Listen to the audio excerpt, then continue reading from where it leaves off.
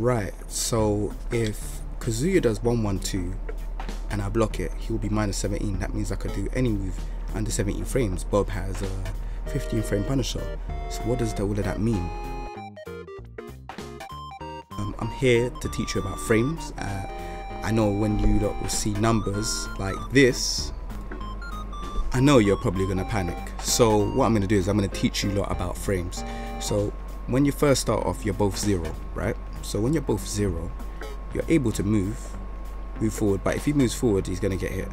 If he sidewalks, he's gonna get hit. But if you stand back and block back, you're both zero. Now, the best way to think of it is if I throw out my arm and I do a jab and you block, I'm safe. But if I do a move, maybe like I don't know, a hook and I'm minus 10, that means you can do a move that is 10 frames. So the speed of 10 frames is what can react to a move that is minus 10. Same with a minus 12 move. If a move is minus 12, you can't punish it with a 15 frame punish move. You would have to punish it with a 12 frame move. So as you can see here, you can see it says command hit level. Hit level is where it where it hits. If it's high, it's H. M is uh, medium. L is low. Um, the hit uh, the damage is the damage output it does. The startup frame is how how many frames it is. So you see a lot of 10 frames, and then you see 12, 14, 12. Um, that's the speed of the move. Uh, block frame so it's how much how much he's uh, how much he's at advantage or disadvantage so the first move is one he's plus one so that means the next time you jab it's going to be nine frames because he's plus one he has an advantage um, when he does 112 as you can see it says minus 17 so that means you can punish anything that's 17 frames or below. But if you punish him with a 17 frame move then it has to be straight after he's done the move. It can't be any layer because if you do any layer then you're gonna miss the you're gonna miss the timing.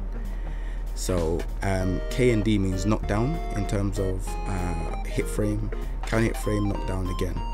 So yeah that's what it pretty much means. So I'm now gonna show you better than I can tell you.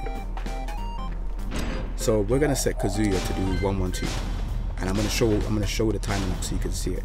And I'm gonna show hit parity as well. Uh, hit properties sorry display okay.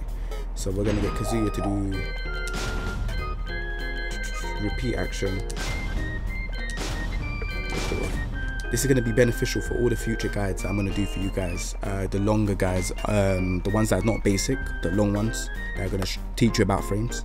So please listen carefully about this. If there's anything that you don't understand in this video please uh, leave a comment down below and I'll get back to you.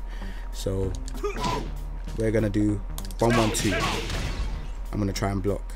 Couldn't block. Yeah so that's done I'm holding back so that's block. Alright so recovery animation. Sorry I done the wrong one. Um, so now I'm just gonna show you the timing look at that. Look he's still blue. See the recovery time? That's 12 frame punish.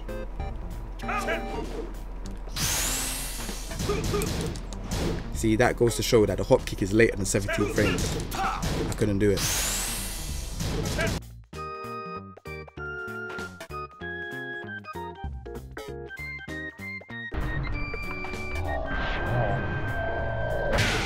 So, anything beneath 12, anything between beneath 17 frames will work.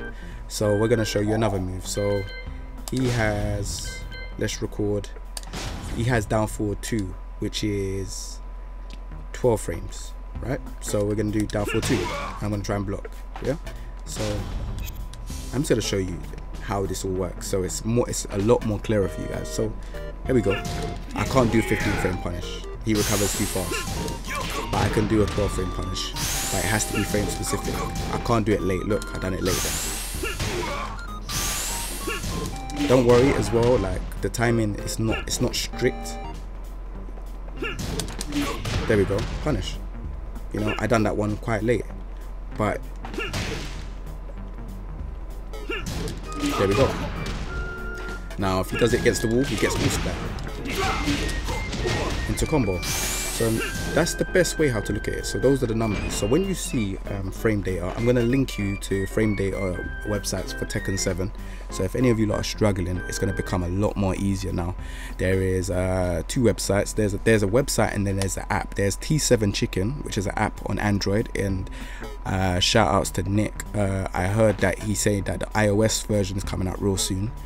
So don't worry about that. If you can't have it now, then go to rbnorway.org. Uh, the lovely people over there, they have a frame data on all the moves and stuff like that. If you're looking to take it to the next level, uh, frame data is pretty much the next level step in terms of taking it to pro. If you want to learn how to become on that next level, so yeah, you're definitely going to want to have a look at those things if you want to take it to the next level. If you want to keep it uh, basic, then just look out for the basic guys. The basic guys will help you out. Um, after the basic guys, it's going to be straight um, pro, like pro information. It's going to be for the people that want to take it that extra step. So other than that, this video was just pretty much quick video to talk about frames and how it works and stuff like that. Um, yeah, that's it, man. All right, take it easy, guys. Peace.